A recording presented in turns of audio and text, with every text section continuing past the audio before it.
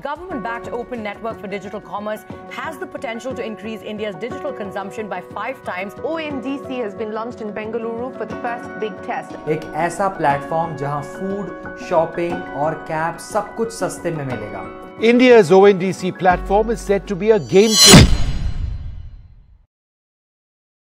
Open Network for Digital Commerce or ONDC. ONDC promises to provide a level playing field to small merchants also. Right now the Indian e-commerce market is completely dominated by Flipkart and Amazon and food delivery markets obviously dominated by Swiggy and Zomato. ONDC promises to move away from this platform centric model and provides a network to everybody. Sellers can list their product on an e-commerce platform and everything will be taken care of. Just by being on one platform, your product will be recommended to all the customers. And if they are good, if their product gets purchased frequently and customers are satisfied, the seller can make a lot of money, far more than they are making right now. Is ONDC the next revolution or is it just a government scheme?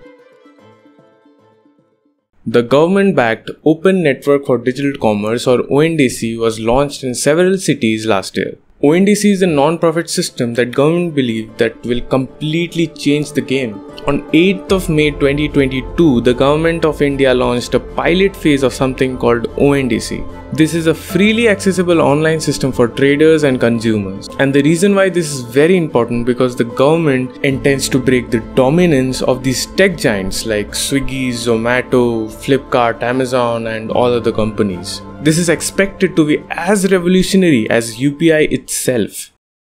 ONDC is not a replacement for Swiggy or Zomato or any other e-commerce platform like Flipkart or Amazon. This is not a competing platform. In fact, it's not even a platform. Instead, ONDC is a network for sellers and e-commerce platforms. Basically, any seller that wants to sell his products to a buyer can join the network. Okay, so let me explain you in a different way. As I said before, ONDC is kind of like UPI, right? UPI you can say is a digital infrastructure and it's not an app. It's not replacing any PhonePe, Google Pay or anything like that. It's just there as a foundation for them to build on. You remember when you had to transfer your money from bank to the Paytm wallets and then you can pay through that money in the wallet to the other wallet और फिर जब UPI आया पूरा direct हो गया। Everything was bank to bank कोई wallet में पैसे वैसे डालने की ज़रूरत नहीं। तुम इसको इधर से पैसे दो एंड तुम्हारे बैंक से उसके बैंक में डायरेक्ट ट्रांसफ़र हो जाएगा।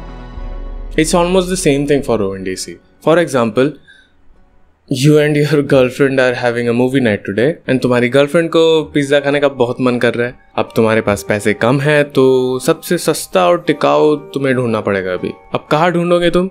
जोमेटो और स्विगी और ऑप्शन ही क्या है ना? Why only Zomato and Swiggy? Because you downloaded them. You have fed your payment details, address details, everything into them. अब फिर से अगर तुम्हें कंपेयर करना है दूसरा ऐप कोई डाउनलोड करो उबर ईट्स जैसा फिर उसके साथ कंपेयर करो बहुत हैसल है तो तुम्हारे पास और कोई ऑप्शन ही नहीं है इन दोनों में से किसी एक से करो या फिर ना करो लेकिन अब तुम्हें अलग अलग एप्स डाउनलोड करने की ज़रूरत ही नहीं but O N D C is doing तुम ओ में जाओ जस्ट सर्च फॉर पिज्जा सारे ऑप्शन आ जाएँगे स्विगी जोमेटो या फिर लोकल कोई सेलर सारे सारे लिस्टिंग आ जाएँगे अब तुम्हें चूज़ करना है what's the best offer for you Swiggy Zomato या फिर ऊबर ईट्स जो भी जो भी होता है, जो पसंद आए ऑर्डर कर दो and enjoy your pizza So the obvious question now is, how do you shop on ONDC? Is there a app or a website anything? Well, no. ONDC is integrated to your payment platforms. Paytm, PhonePe, Razorpay, everybody is eventually integrating ONDC into their platform. But right now, it's only available in selective cities like Delhi, Shillong, Bhopal, and Bangalore.